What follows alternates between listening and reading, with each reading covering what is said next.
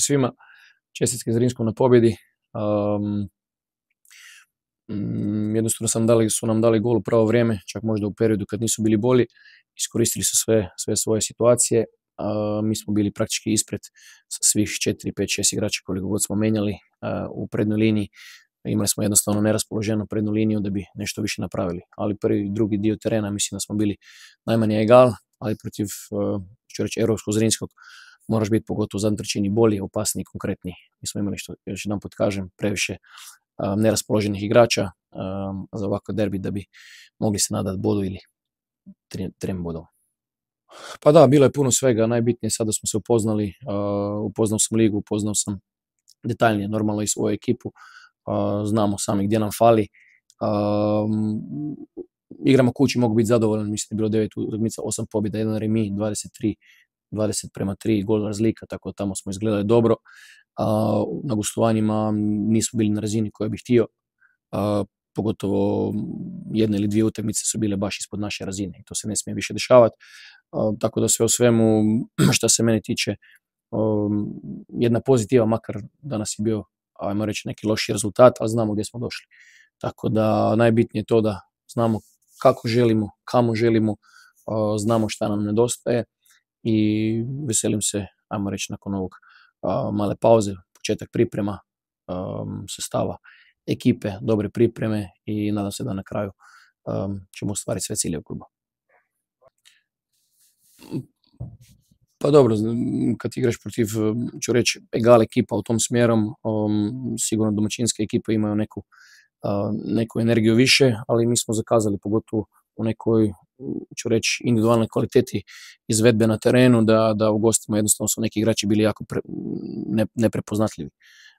Na tome moramo puno raditi, na, na, čak ću reći na karakteru i na mentality ekipe, jer ova ekipa nije usvajala naslove, pa sad tu nešto nam ne ide, nego ova ekipa je bila dva puta četvrta, tako da ovi igrači nisu navikli igrati, um, ću reći, na, na, na, razini gdje, gdje ti je svaka utakmica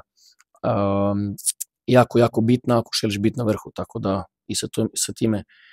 se moramo suočati i vjerujem da možemo dignuti taj, ću reći, mentality i, i karakter same ekipe da bi, da bi u narodne vrijeme igrala i vani sa više hrabrosti i sa više energije i na kraju krajeva da ne bi zakazali praktički više igrača u jednoj utakmici. Pa da, što se tiče samog prelaznog roka, to će sve sportski direktor reći, on je taj koji, koji na kraju ima zadnju reč kako god e, surađivamo. sigurno će se roster promijeniti, imamo sad u zadnje vrijeme bilo je dosta ozlijeđenih igrača. sigurno žele trenera da bi na početku priprema imamo praktički cijeli roster, ali znate sami da igrači koje mi želimo, ne samo mi, nego svi klubovi, da od početka je cijena neka, a onda na kraju priprema, onda ta cijena jako padne, ali za trenera je to loše jer praktički izgubi cijele pripreme, tako da tu moramo biti pametni, nikako s glavu kroz zid, uh, vidjeli ste sami, liga, je radna, ne trebamo nikakve super zvezde, nego trebamo, um, ću reći, igrače koji će se bacati na glavu za naš klub. Avromovskom, da, isteče ugovor, što se tiče Zilkića još ozleđen, već smo praktički cijele pola godine vuče isti, isti dio ozljede. Um, a što sam rekao za sve ostalo će biti e, vremena sad preko prelaznog roka. Ja se samo nadam da ćemo uh, sa šta više igrača, sa što, što ste sami rekli, šta dopunjen roster počeli pripremati. Pa gledajte, svaka promjena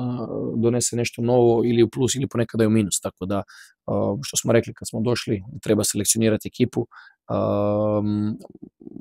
Protiv sam toga, pogotovo ako ekipa duže vrijeme ostaje skupa, zna igrat kako igrati u Zrinskom, jer igrači koji dolaze već svaki put ideš i ovo na novo, tako da ja bih želio da sad napravimo neki, već i mislim da imamo kostur ekipe, da se zna ko pije ko plaća i onda igrači koji dolaze da se mogu naviknuti na neki sistem koji već, već ide. Sad smo to sve radili u hodu, tako da nisam pristaš toga da se svaki prelazni rok, ali sigurno imamo neke svoje želje, ali mislim da su svi igrači imali dovoljno i vremena i prostora da pokažu svoje kvalitete. Pa dobro, kad